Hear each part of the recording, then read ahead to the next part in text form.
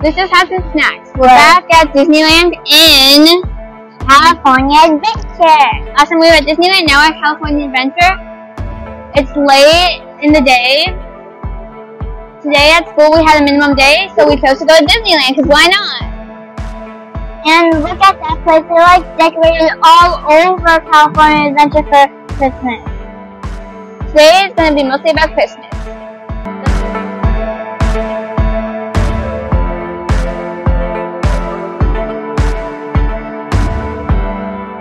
We're at California Adventure. We're in the park. We're so thankful to be here. I'm thankful for really being at the park and making this channel. And I'm really thankful for having nice birds.